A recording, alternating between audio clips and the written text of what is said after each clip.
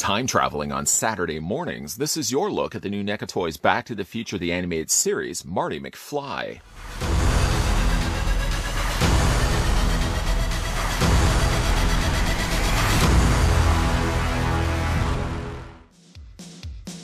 Marty McFly and Doc Brown experience the adventure of a lifetime in an unlikely time machine as they travel to the past, the present, and the future, setting off a time shattering chain reaction that disrupts the time space continuum.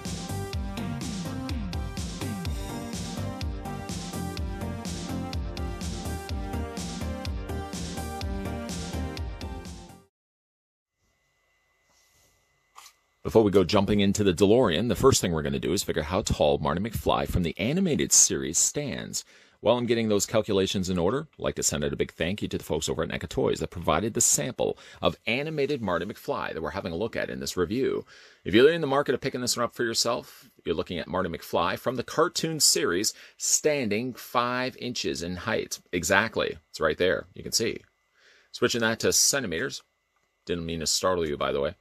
You're looking at the figure standing 12.8, almost 13 centimeters in height. Probably the most fitting comparison we can make. We'll move over animated Marty McFly, and we'll bring in movie Marty McFly, also produced by NECA Toys. Obviously, a big jump when it comes to the design of the character. Mar- movie Marty McFly is more rooted in reality, where animated Marty McFly is obviously pulled from the TV screen when the cartoon series of Back to the Future first was running. A series I used to actually watch back in the day every Saturday morning. But you can definitely see there's a big jump in size. And one good thing about the animated Marty McFly, something I talked about when we had a look at the die-cast DeLorean, is he fits a little bit better in scale to that car versus the movie Marty McFly. To show you what I mean, I've brought in the DeLorean that we looked at in the previous review. As you can see, the DeLorean, first of all, color wise, as I said in the review of it, I think fits better for the animated style of figures because they're more singular color. The lighter gray that they went with for the surface of the DeLorean, I think, lends better to the idea of going with the cartoon style of figures. The figures are still too big, unfortunately. But just to give you an idea, we'll open up the gull wing door on this side of the DeLorean. We'll just put it down for a second. We'll take animated Marty McFly. He's a little limited when it comes to articulation. We'll talk about that in a second, well, later into the review. But we'll sort of get him as flat as we can possibly get him, you know, in the seating position. And just to show you, he doesn't quite fit inside, but he fits a lot better than the movie Marty McFly.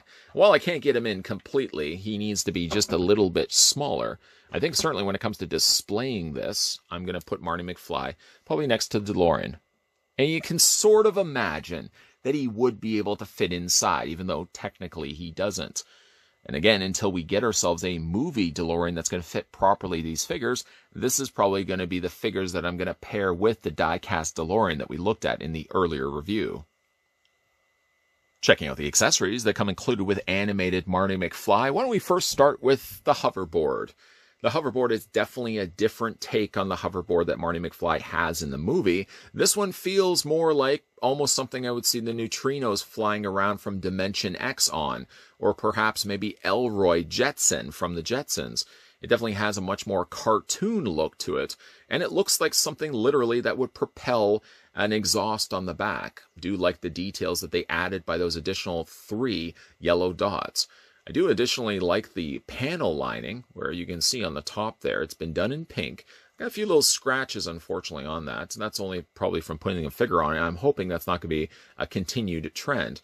And then on the bottom, you can see there's a nice pastel blue with this darker blue here. Yes, there's a hole right there. We'll talk about that in a second. But I do like the panel lining. Very nice touch on their part. Again, works itself to make it look more animated than realistic. Uh, because there is that hole on the bottom, you can use the display stand that comes included with it. Pretty sure it's the same stand that came included with the Back to the Future Part 2 Marty McFly for attaching the same thing, the hoverboard. Now, when you are attaching it to the bottom, just wiggle this in place. If you push too far up, sometimes I've noticed what it does is it starts separating this bottom half of the hoverboard from the top half of the hoverboard. So far, I've only been able just to push this back in place and it seems to plug back. It almost makes a little bit of a snapping sound when I push that back together. But don't push it too close together. Like I said, these two halves will start separating. But it does give you at least the option to pivot and angle the hoverboard if you want. And of course, because it does have the peg hole on the top, quite easily you can take Marty McFly, use either one of his feet. I guess it probably makes more sense to use this foot if he's looking this way and just attach the figure just to the stand. Basically the exact same way that the movie Marty McFly worked, except if you remember, the Marty McFly, same problem also as well. The Marty McFly from the movie, you remember I actually had a little peg area that you actually had to take off and replace with the one that had the peg hole. This one, they've just simply put the peg on the top of the hoverboard. But it does have some of the same issues with the with this standing. It does help if you tilt this sideways, sort of help to stabilize Marty McFly when he's on top of his hoverboard. He's also a little bit smaller too, so he's less likely to fall over, unlike the movie Marty McFly, which was a little bit taller of a figure, more inclined, yes, to tilt over. While he's still hovering there, let's have a look at the other accessories he comes included with. He comes included with a guitar. Similar color scheme, actually, of the guitar as the hoverboard. Pink here on the handle. Pink also at the back here with the strings are, with some additional red on the buttons or the little adjustment knobs. And then the rest of the guitar is mostly a blue. Well, that's not 100% true. On the back of the guitar, it's all done in this really nice violet purple. The strap also has been attached with a peg on the end there. And this is just all soft plastic. So you can either take it, take Marty McFly off his hoverboard, you can either fit it around his head like so. Probably not like that completely. Let's do this right. Feed this up onto his shoulder. You can bring the arm around this way and just stretch it across his head. There we go. That gives you the proper look. Or what you can also do as well, the other accessory he comes included with is a hand. You can give a hand, certainly when it comes to holding his guitar or his hoverboard. All you're just going to do is wiggle this off. It's a very narrow peg. You'll see in a second what I mean. Just wiggle that off like so. Try not to drop the guitar in the process. Replace the hand with now the gripping hand. And this is probably going to be the hand that I'm going to be using moving forward. Because it also allows him to hold the guitar, which I'll pick up in a second. He can also take the hoverboard off the stand and he can somewhat hold it. I say somewhat hold it. He more or less just grips it onto the side. And I guess if anything, you could probably have him just looking like he's holding the top of the board, just kind of like that, having it balancing on top. But the intended purpose is really for him to be holding the guitar. Let me just show you what I mean by that. Yes, retrieving the guitar, you can see he actually holds the handle in his hand quite easily. You can move it around and it's not going to be going anywhere. It looks a little ridiculous. He's probably not going to be playing guitar like that. So again, you can go back to feeding this back up. In this case, I'll feed this up from this side, loop this around, and then you can take his other arm, now with the new hand, and just twist this around like that and you can kind of have him holding the guitar this way. Unfortunately, with the limitations that he does have to the arms, there's very little articulation to speak of. Short on a straight on swivel. You can't really bring the arms in any further than that, so I guess what you could do is you can bring Marty's arm up as if he's ready to strung the guitar.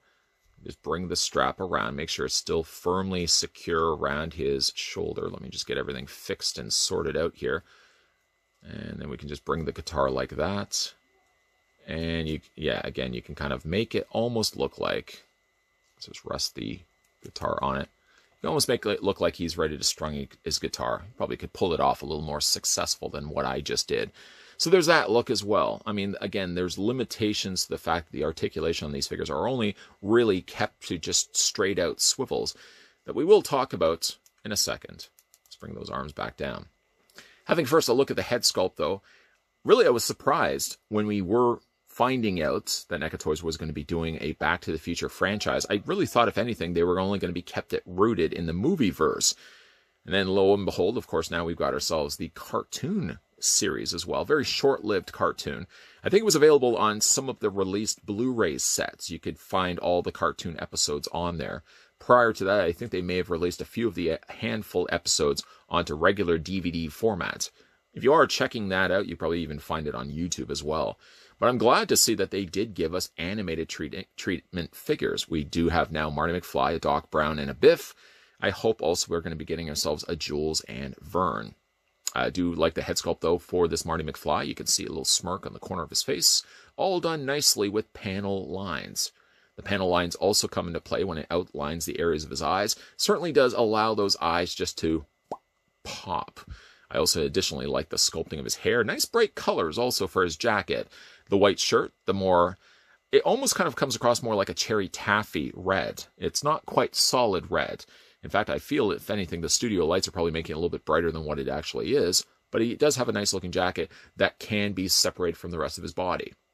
Unfortunately, though, one of the things that you do see separating the jacket, now keep it in mind, you're probably not even going to do that because you can't take the jacket off anyways.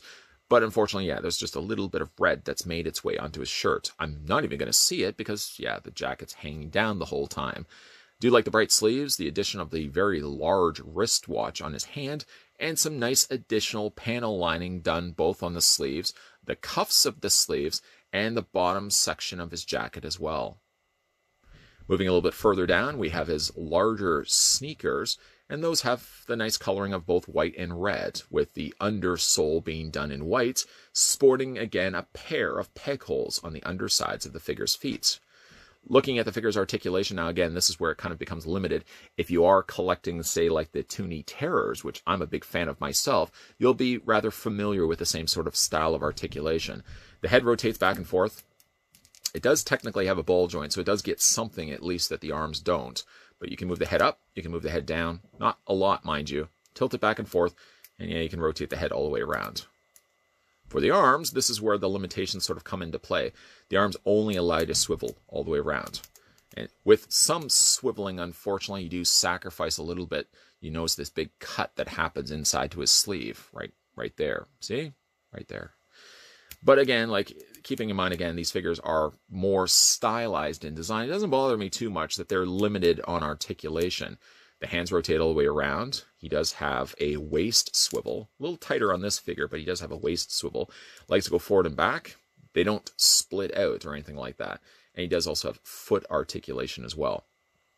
Sort of the bare basics, but again, for the fact, keeping in mind as well that we have finally animated Back to the Future figures. Uh, I'm just thrilled for the fact that we finally get those. Yes, it's nice to get the movie verse. That would be the first thing I would hope that they would tackle. But the idea of throwing in their animated style Back to the Future figures is pretty cool as well. And I do like the way that Marty McFly has turned out. Animated shows based on movies don't tend to do so well. In fact, you look at the track record of Saturday morning cartoons, and there's probably a list you could comprise of various animated shows that got canceled that were based on movies. Shows like Karate Kid, not so good. Shows like Teen Wolf, another Michael J. Fox cartoon outing, don't do so well. And surprisingly, Back to the Future lasted 26 episodes. Not sure if all 26 made it to TV, but if you're certainly in the market of picking them up now, you could pick them up as, I believe, bonuses for the Blu ray and 4K releases of Back to the Future, or you can even just buy them as standalones. You can buy a complete series, I think, on four discs over on Amazon right now. So if you are in the market of getting the Back to the Future animated series, and maybe I've never got a chance to, to view it, it's available. It's out there. You can check it out. Very happy to see that NECA Toys didn't just give us movie versions of Marty McFly, they gave us an animated version of Marty McFly too, and that's that's pretty cool.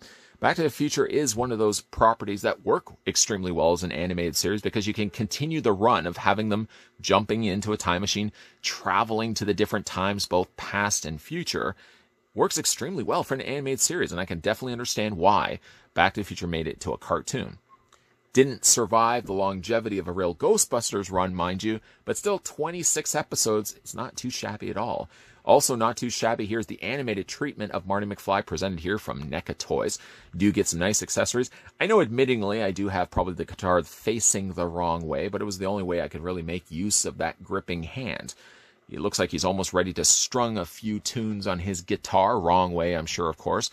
But it's nice to also see that he comes included with his hoverboard, a way to display the hoverboard, and again, a swappable hand. Now, we are getting ourselves a Doc Brown. We are also getting ourselves a Biff, but I'm hoping as well that we're going to be seeing ourselves Jules and Vern. They were sort of the antagonists for the animated series. a lot of times it was them that were jumping into the time machine and doing all their time traveling adventures. I hope at the very least we are going to be seeing ourselves a Jules and Vern in the not so immediate future. A big thank you again to the folks over at NECA Toys for providing the sample of animated Marty McFly. Let me know down below in the comments section if you've ever seen the Back to the Future animated series. And can you think of any other doomed animated series that were based on movies? There's probably a whole ton of them. I'm surprised that we never got a Gremlins animated series. That just sort of seems like a no brainer to me. And yet we never did get an animated Gremlins. Maybe one of these days we will. Either way, though, if you are new to the channel and liking the content you're seeing, consider the idea of hitting that subscribe button down below. No, you don't have to jump into a time traveling train either. You can move on over to that friendly bell notification bell and ring that so that when future videos are coming onto this channel, let's just say, oh, Monday to Friday, let's just say, oh, 12 p.m. and 2 p.m. Eastern Standard Time. Let's just say, is that 10 videos a week? Yeah, you you know simple math. You also read the script. Good job. Lots of stuff coming your way, guys, so keep your papers peeled. Lots of NECA reviews lined up and coming your way. So, as always, stay tuned to this channel. As always, thanks for watching. I'll see you guys next time.